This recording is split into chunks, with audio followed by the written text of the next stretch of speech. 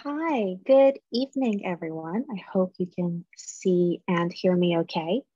Um, my name is Penny Babakhani. I am uh, an Iranian German theater producer, um, and I will be chairing this evening's uh, panel on patriarchy and the climate crisis, uh, which has been co produced um, as part of a series uh, between Liverpool Arab Arts Festival and Creative Destruction called Artists Ideas Now.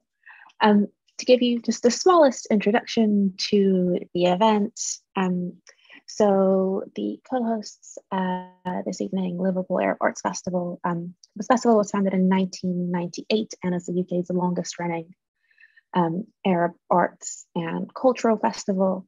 Um, and this year's festival, which has been running since July, both uh, digitally and also in person in Liverpool, um, is dedicated to the um, complexities of the climate emergency in the Middle East and North Africa region today, um, and is very much looking at the subject matter from an artist led perspective.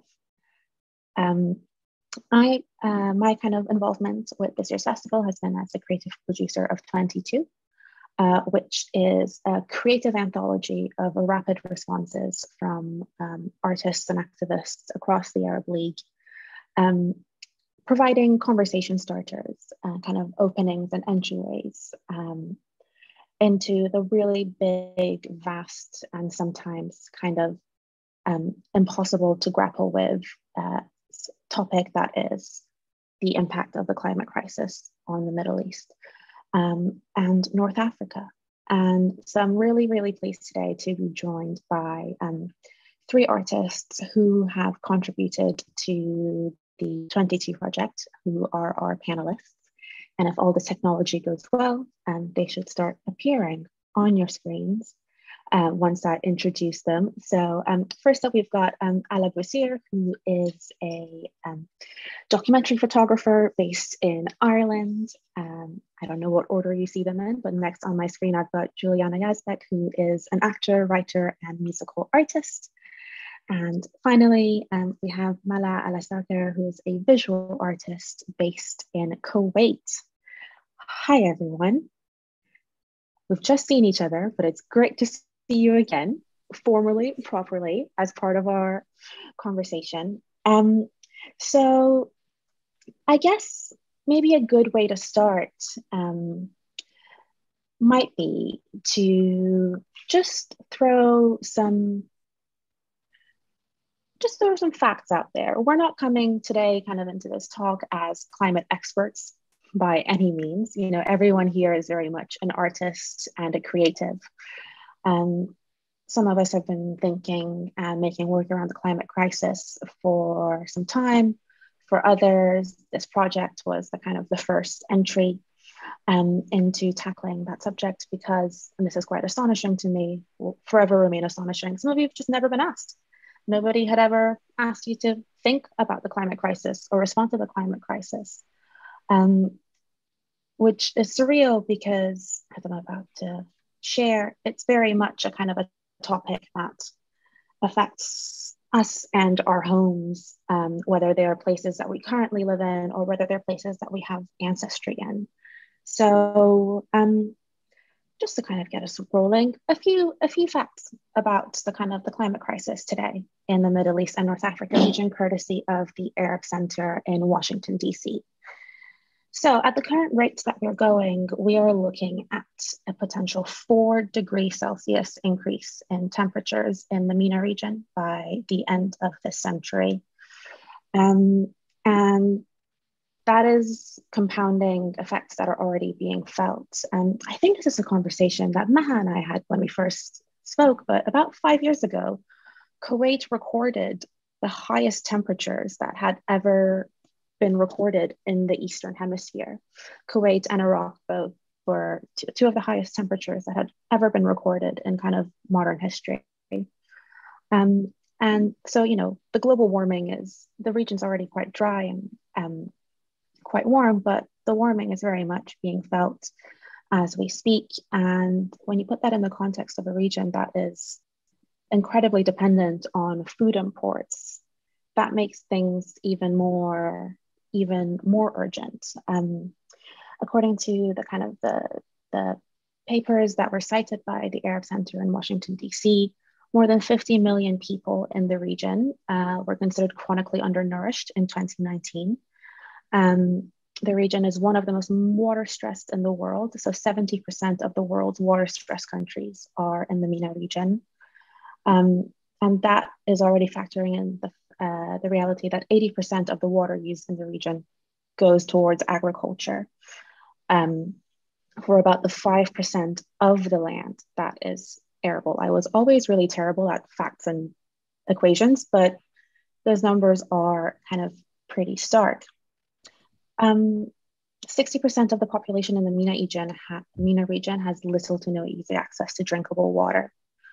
Um, and alongside this, um, five countries uh, in the region also hold more than half of OPEC's crude oil reserves as of 2018. So we're talking about a region in the world that is already being affected by climate crisis very severely, will continue to feel really severe effects, um, but at the same time um, is also incredibly oil dependent.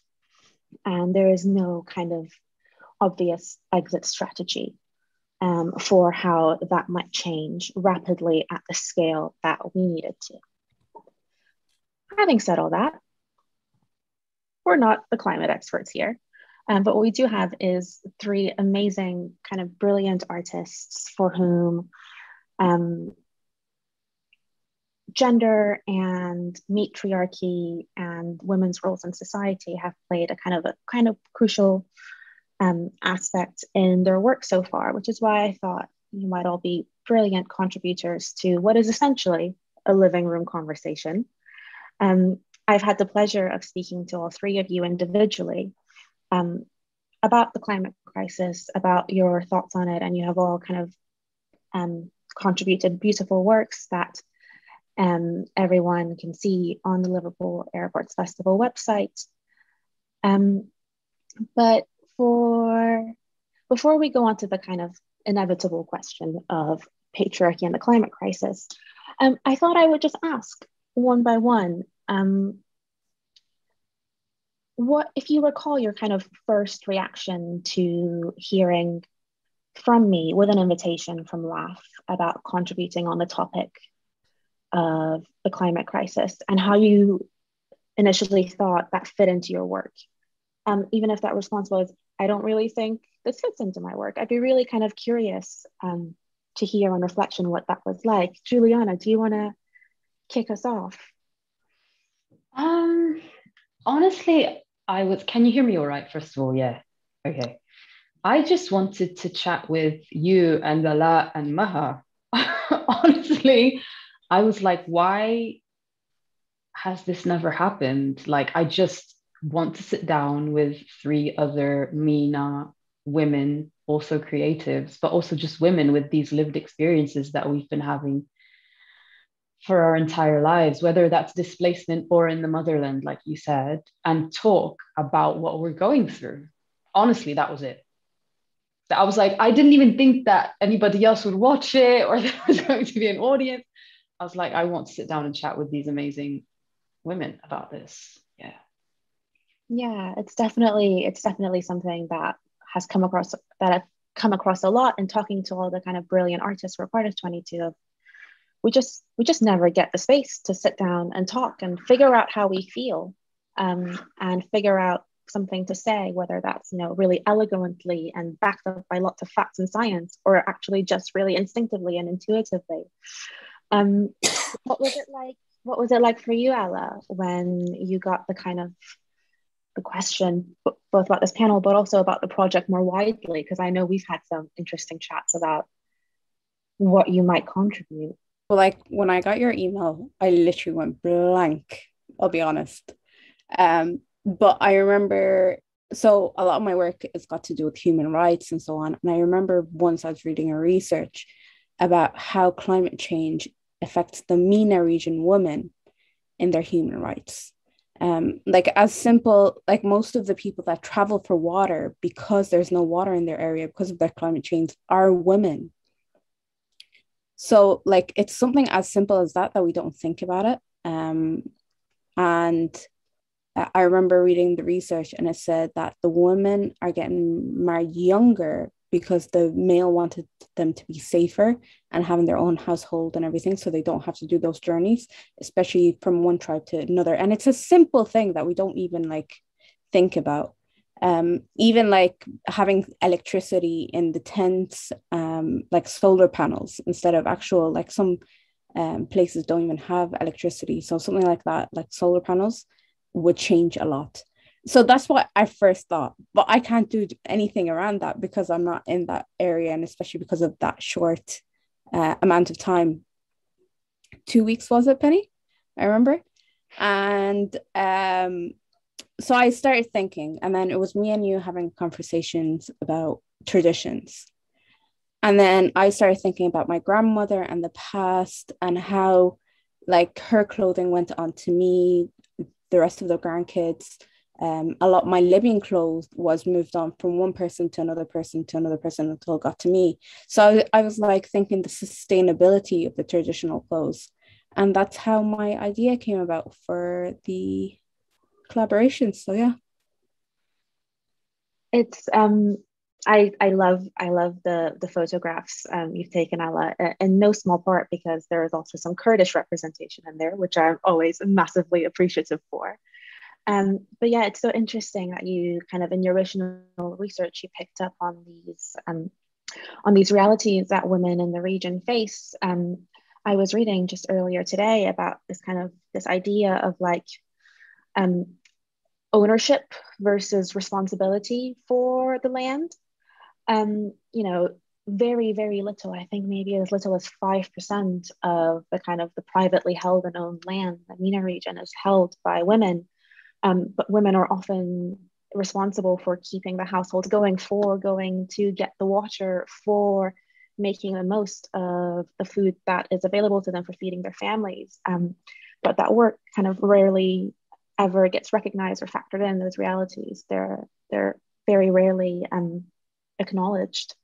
Um, what about you, Maha? Um, we also had some really interesting conversations when we first started speaking. Um, yeah. kind of wondering like where where the climate crisis is around you when it doesn't necessarily always feel present i feel like when, when i when i got your email the first things i'm so sorry the first thing came to, to my mind is wow such an amazing festival i was like more focused about who you are but then i kind of like freaked out as like climate change uh, like my work is not about that but through the conversation, I realized that my work is about that. It's just how a word can sound different and how we perceive things based on the media and the way how we see it.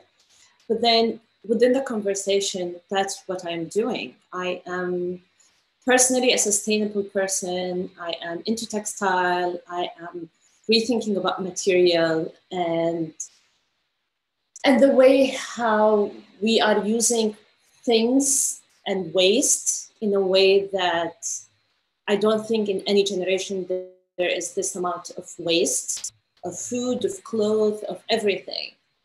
Um, and I was so excited that this conversation came from you guys because usually these kind of conversations always coming from the West, maybe having, but but to have this kind of uh, identity, people who I relate to, and I mean, we do have our voice. It's just there is no one place that puts it together.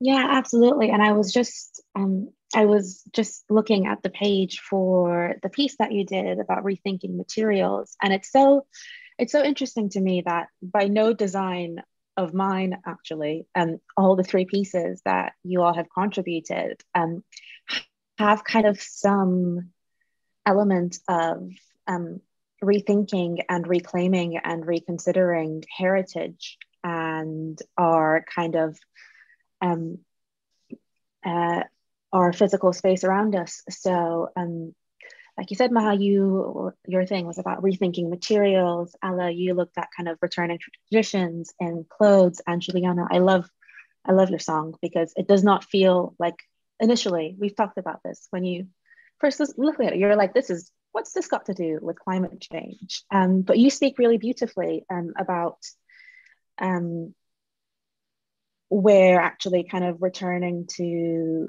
our roots and um, kind of reclaiming heritage plays into into your works. I I maybe you can kind of kick us off um, tying in this kind of this overarching kind of question of like climate and patriarchy and what it means to be um, you know women having these conversations and um, by kind of telling us a little bit about the story of um, of your of your work of your song yeah um, i think you know there's so much language around okay so the conversation largely i mean actually most conversations largely around the world are belong to a very small demographic. Let's just say a very small global demographic. And then you've got all these people who are indigenous people of the global majority people like us.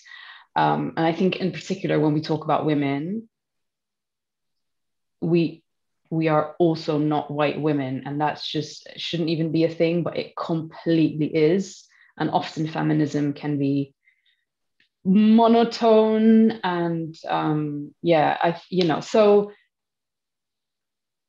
already if you know for example when when you and i penny were having the initial conversations about like like um, ella and maha were saying about what would you contribute as an artist as an artist who isn't necessarily or doesn't self identify as my work is about the climate.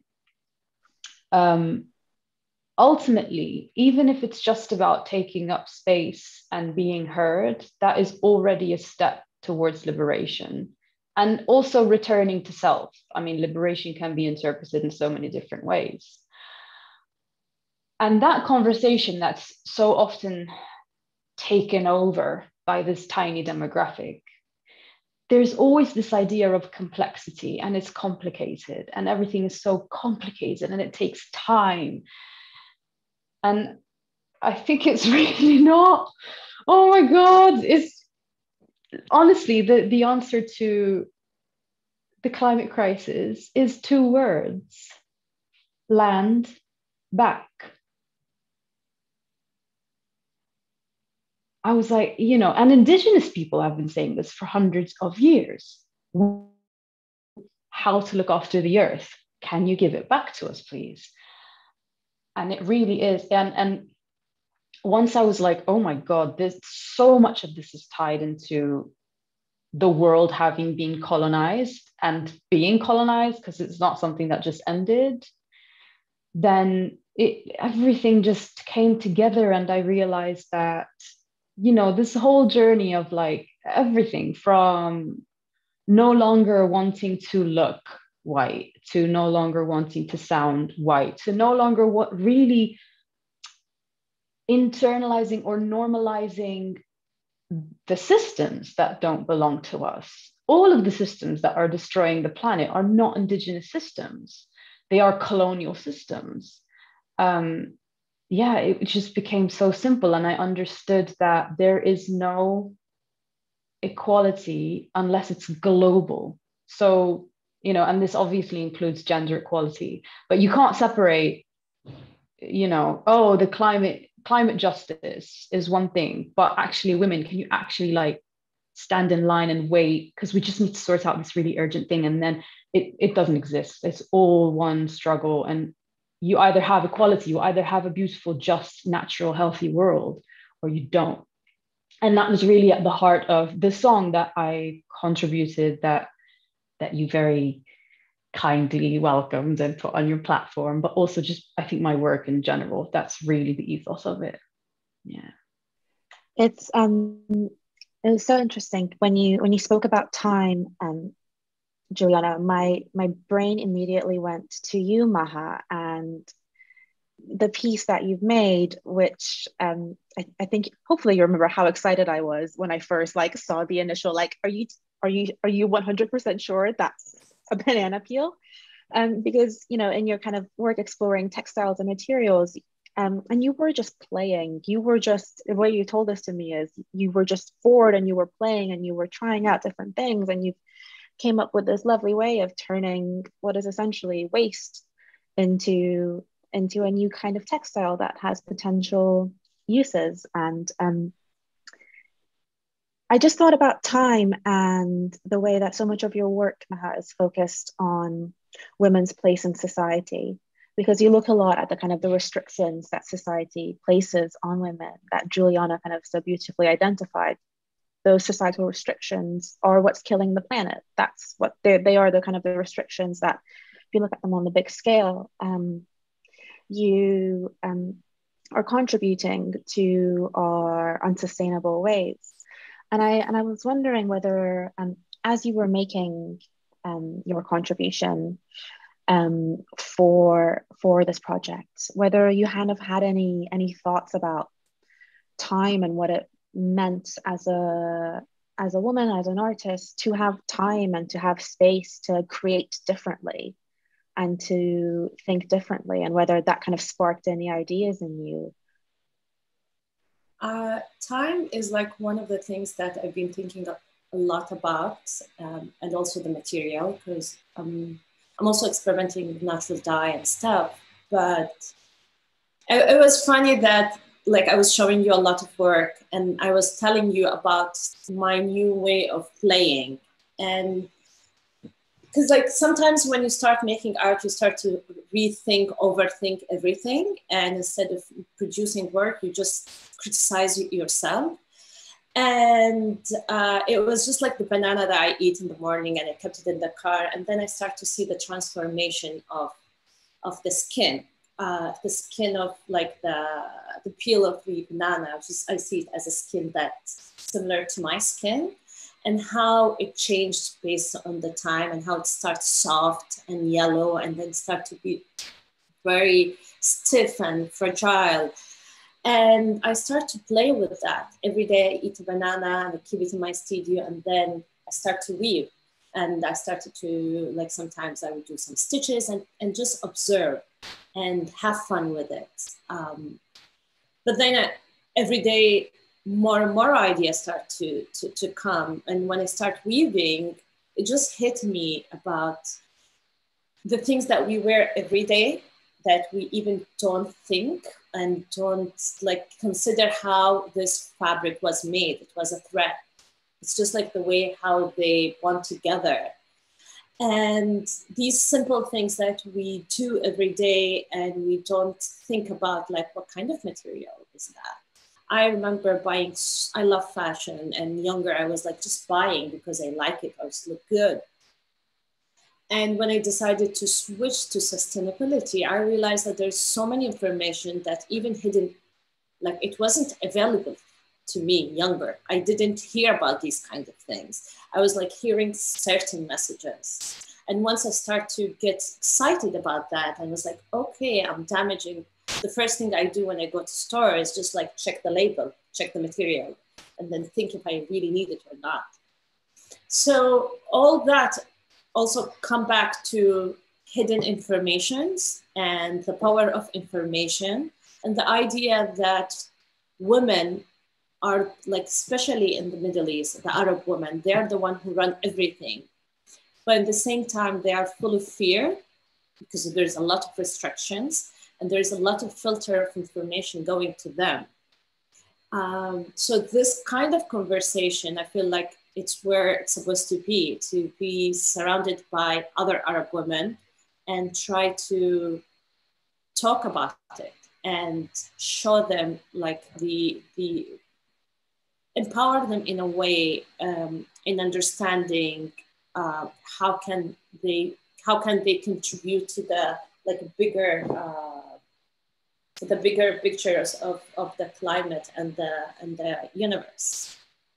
Yeah absolutely and that requires time and space and it's so often the kind of thing that's that's not granted to us because you know, one of the one of the kind of the hallmarks of patriarchal systems is it's kind of relentless productivity, um, relentless effectiveness, efficiency, and never just a time to to sit and to explore and to think and to reconsider to make different different choices. And actually the the choices that women make by nature of kind of the role that they have in society they they have a huge impact on on a kind of a on a personal on a personal level um less so less so on a political level which is why i guess we always hear this kind of refrain of like imagine if a woman was in charge when that was going on how differently it might have it might have played out um thinking about kind of textiles and materials um Ala, you got to spend some time with the subjects of your photographs.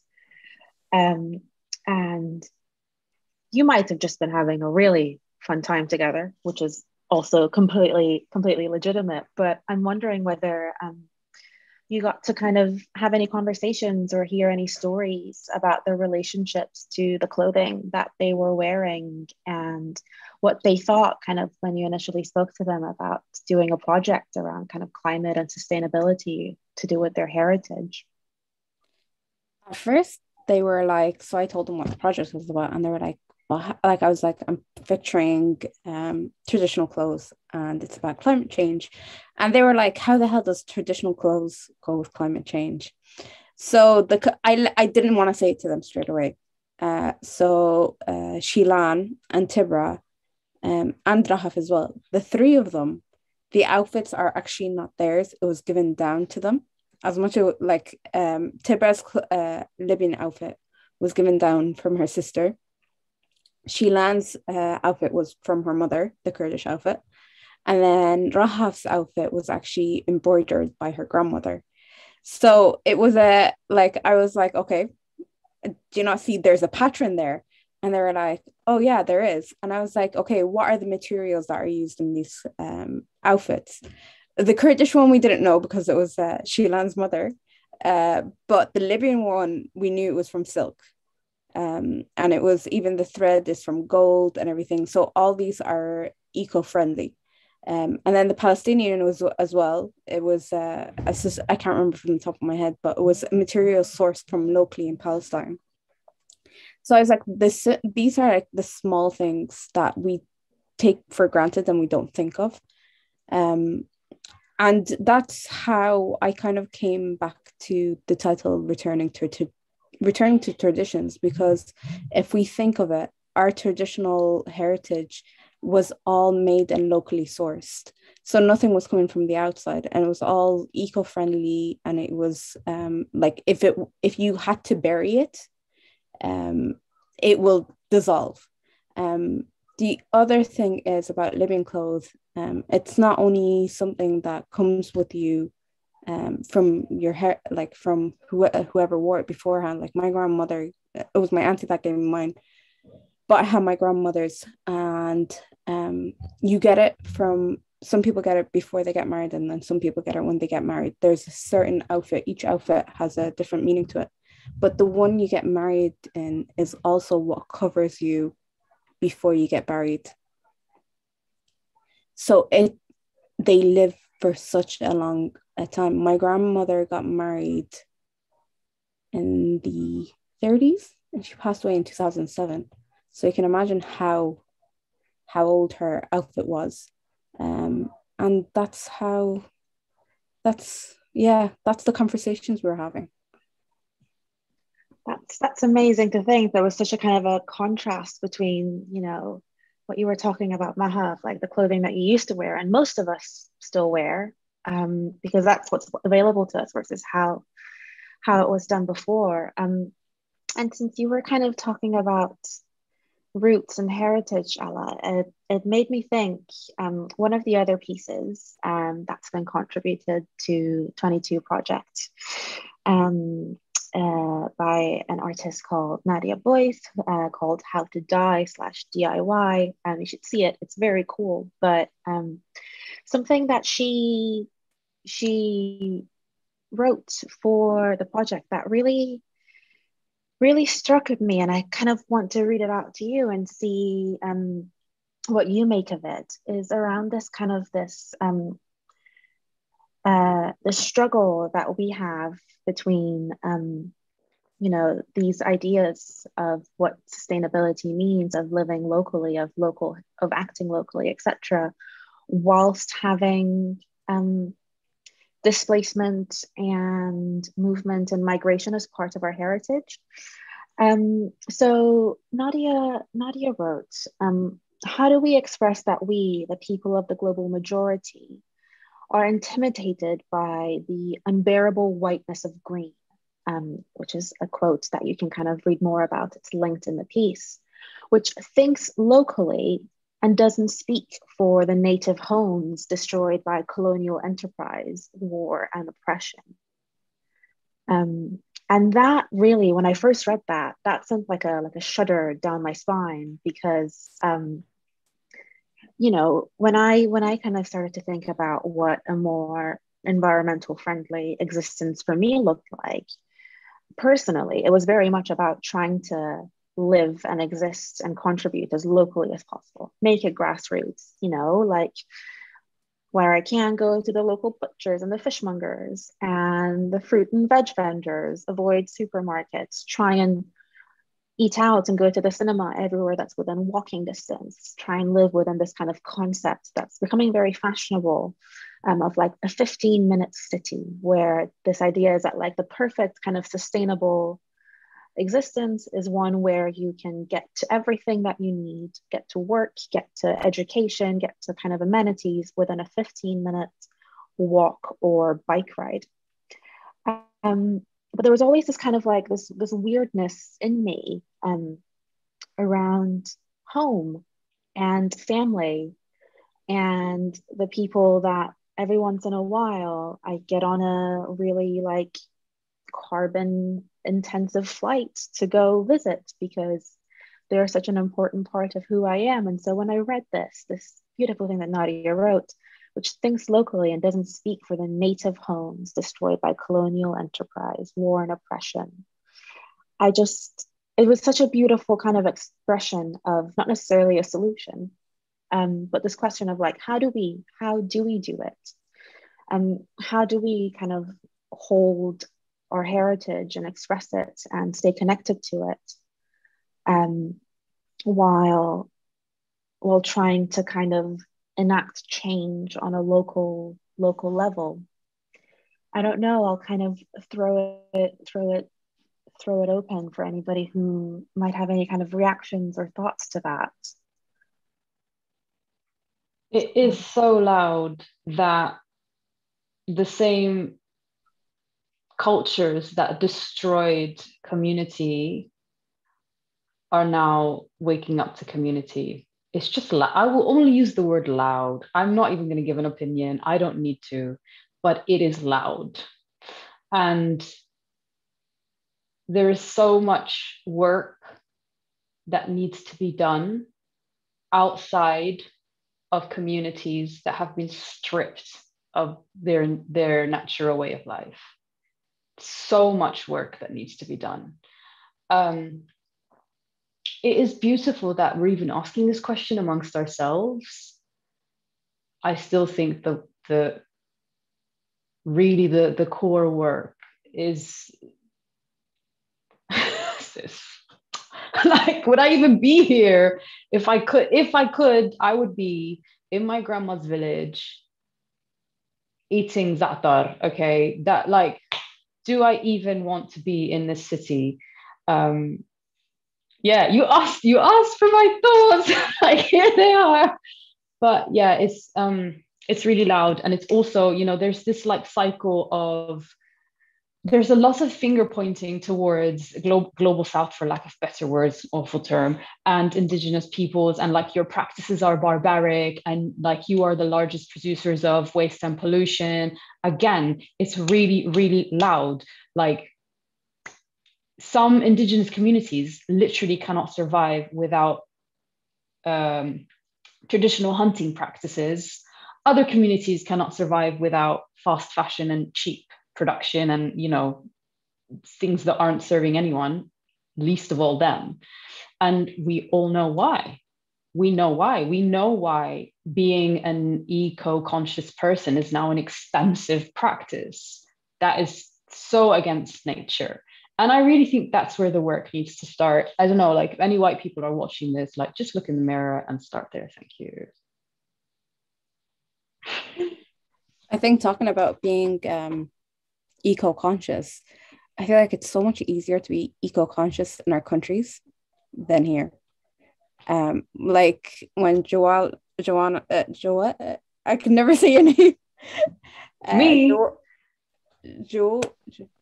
You can call me Jewel. Yeah, Jewel. Um, it's because I'm dyslexic, guys. So apologies. I look at the name and I can't read it. It's totally alright, Ella. um like she was talking about her grandmother's house and everything and all it hits me is me walking around my grandmother's house and it's all pomegranate and olive trees and peach tree and date tree, like a a nakhl, like a I forgot what nakhla is in Arabic. Palm, palm tree is a palm tree. Palm tree. Yeah, yeah. Uh, and so on. And it's like we get our fruit from just just walking my back garden. Even um like it's so much la- like you're walking on acres of land just all planted. Um it just and then i come over here and i have to buy everything. Everything is packaged in plastic. Everything is fast fashion. And it's interesting like it's the west that is causing the effects on the on the MENA region and the rest of the world. And but they're not aware of it. It's just oh the weather is getting colder over here because of climate change, but what are the effects that you're doing back in other countries that you're not even aware of? It's so, it's so, it's so, um, uh, I don't know whether it was you, Maha, who was when we were talking said, you know, like I go to the supermarket now and everything that my mo- or that your mother buys, everything is wrapped in plastic, and that's so fascinating to me because of this um this research that I that I mentioned at the beginning um, about how actually the MENA region has become so dependent on food imports now, and along with those foods being imported, they're also importing the plastic and the lifestyle and the packaging that comes with it, right? I don't know what, what what is it what is it like now in like Kuwait because yeah I just have this really vivid memory of you talking about your mother's. Yeah, we talking, I talking about how I like when I came when I came back from the states and I mean where I already established my way of like sustainable and and you know not buy things unless I need it and living in really really with minimum stuff although there are a lot but there are also minimum coming back home, seeing everything wrapped in plastic. Like even the food, if they want to bring it from the outside kitchen inside, everything with plastic. I was like, mom. And she's like, no, like just like for the flies, like it's okay, you can just cover it. Like this is a plastic, this is a waste. And my mom is very like my mom is like uh, she's well educated she is you know she knows everything but these kind of small information that they don't think about and how each home contributes like like thousands of plastic wraps every day. And and it's it's fascinating how these small mundane everyday life things that we do like uh, plastic bottles uh, clothes that we buy and throw like these are small little things that we are not aware of it because we are doing it every day and we just get used to it that's that's where the shift is. The shifts start here. And i know and another note i just i was thinking about what Ala said about the uh, the traditional outfits and how back then uh, you know people who are sustainable are like like really small villages, poor, less educated people, and now, and now to be sustainable, you need to be, uh, you need to have money because it's expensive to be sustainable.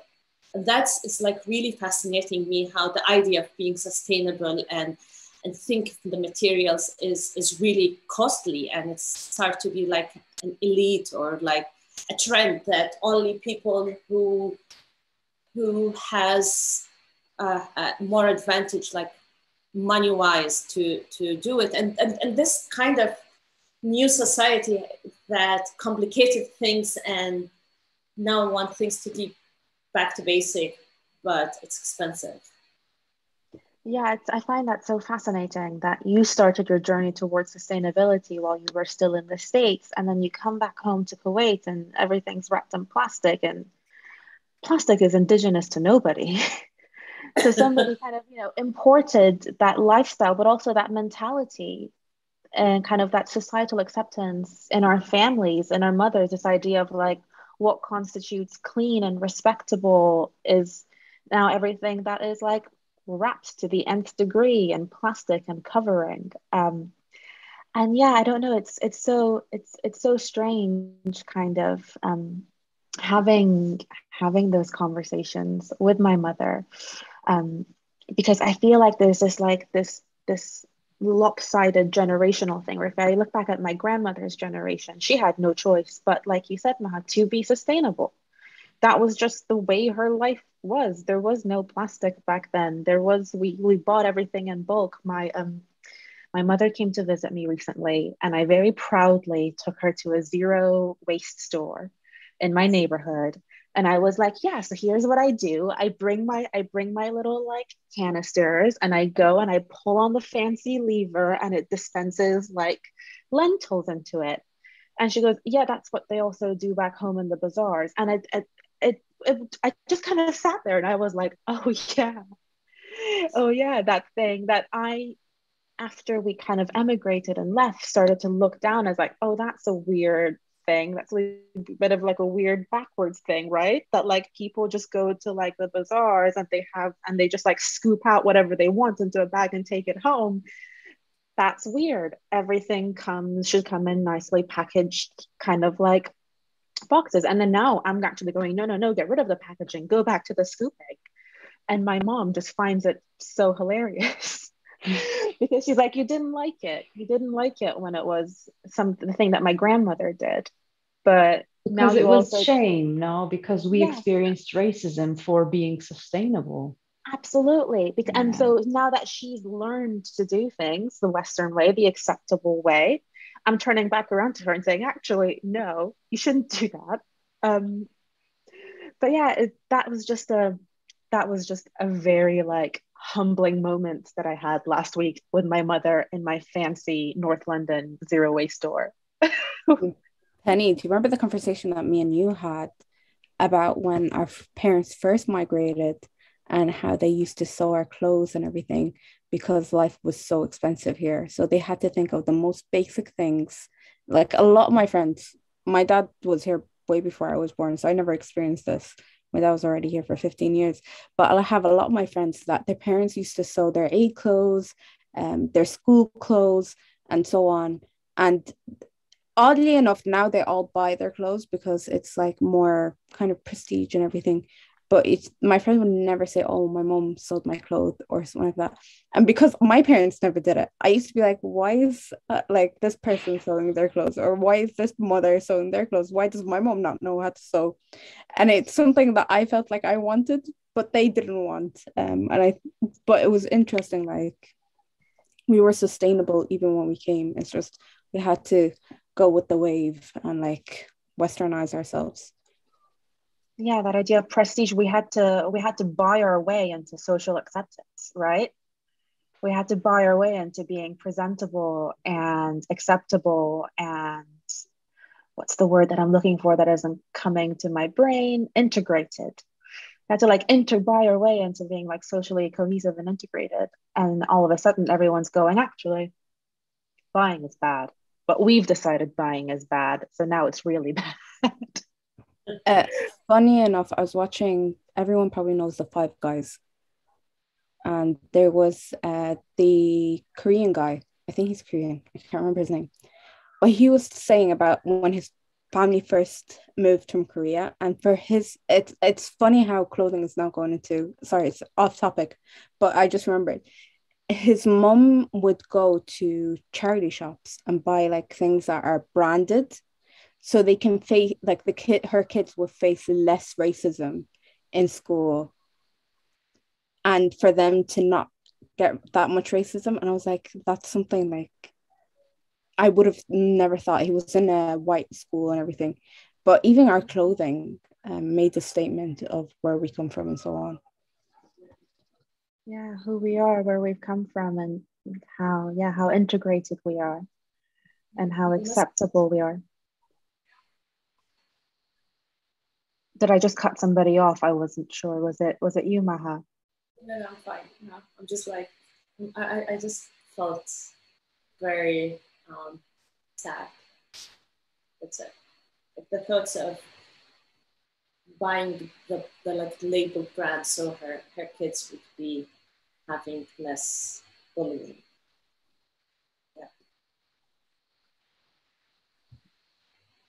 Um, we have about kind of 10, 15 minutes left. And so I actually wanted to open up to the rest of you. Are there any kind of questions that you want to ask of each other or anything that, you know, you want to, you kind of want to want to want to squeeze into these last kind of 10 minutes of conversation otherwise i will i will have questions but i thought i could stop asking the questions for a minute and see if any of you on the panel wanted to ask each other questions i have one question that i always find hard to answer how do i we make our careers sustainable like climate friendly because a lot of us use electricity petrol so on that what decisions do we make when we make work? Hmm. I never thought of that in this way. Um, I feel it's it starts with the, the way how you live your life, like the way the decision that you do every day, the things that you eliminate and live with it. And through that, your art would be coming from there. So it's it's mostly about your daily habits and choices that you make. Because once you live in that um, environment, your art would be more uh, within the, the these rules. What about you, Juliana? Mm, such a good question. Um, I do know that the system I am sort of required to survive makes it impossible for me to truly, truly, truly, truly live within the.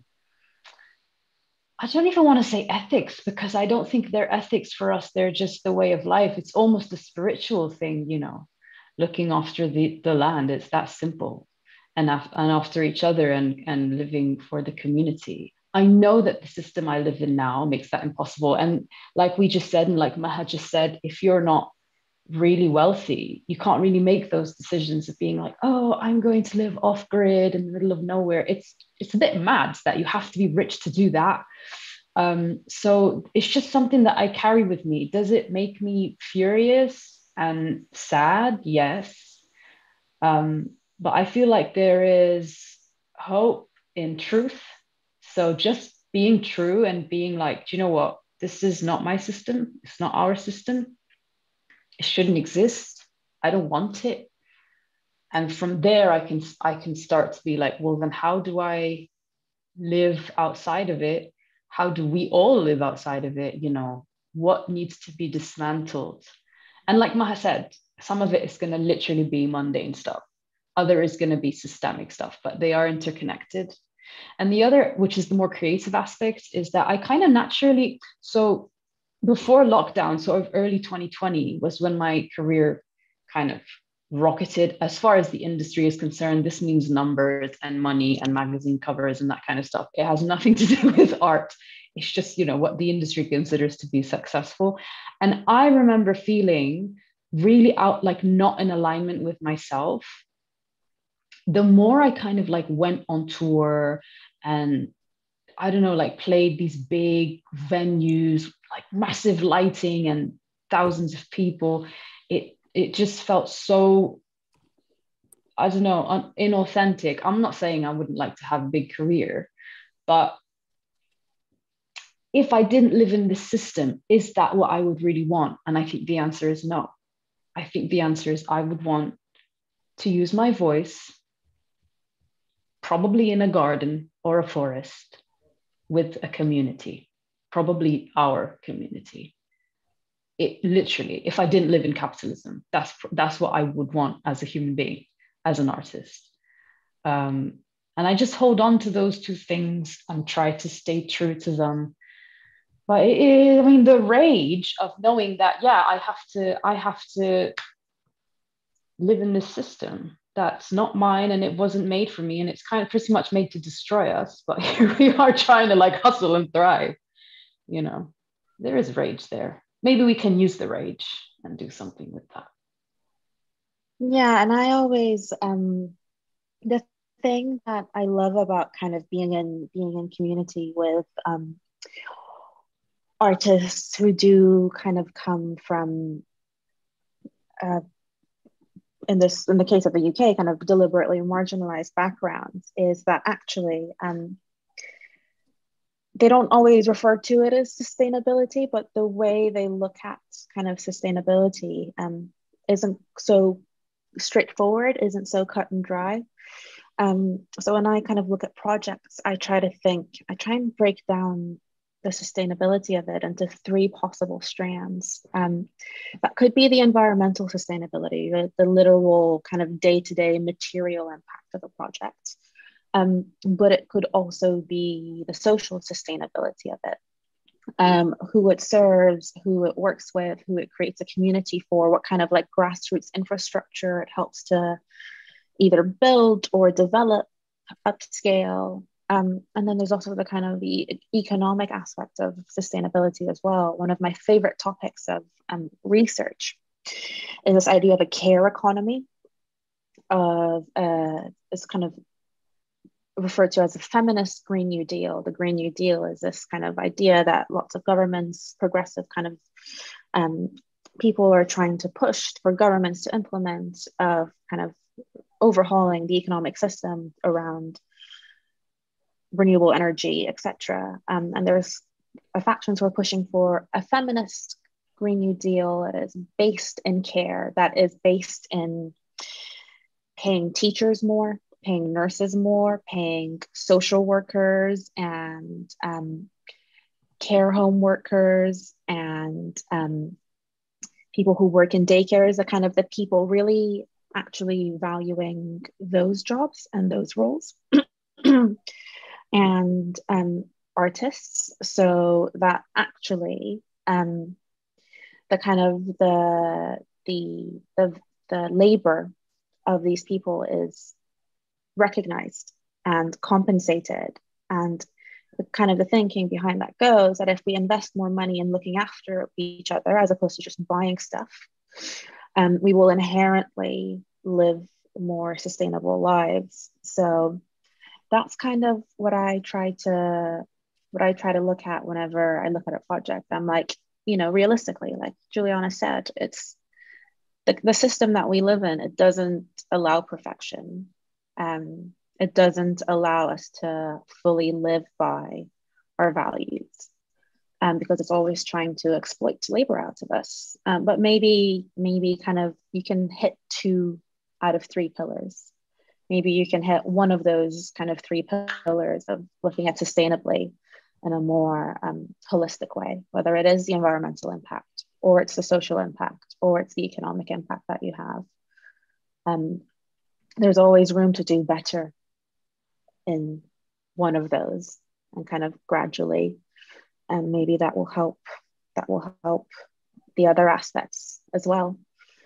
Um, but yeah i recently did a I produced a play where, when we look up at the budget breakdown, we had spent far more money on people than we had on the physical stuff because the people looked out for each other and supported each other and kind of helped us. We weren't, we were by no means perfect, but they helped us towards making the process feel more sustainable. And the stuff we actually um, we got from people who were going to throw it away and then we gave it away to people instead of throwing it away. And the aesthetics of it are different. It doesn't look like the kind of the flashy West End shows that you're used to with everything brand new. It looks and feels very different, but that was our that was our attempt.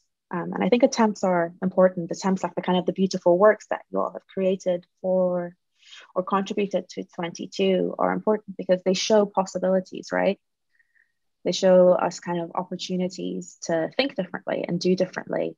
Um, and yeah, the thing that I think I've said to all of you and everyone who has been a part of this project is maybe one of the 22 pieces that we have online will speak to you and make you and lead you to starting a conversation that you wouldn't have otherwise had, lead you to make a change that you would otherwise wouldn't have made.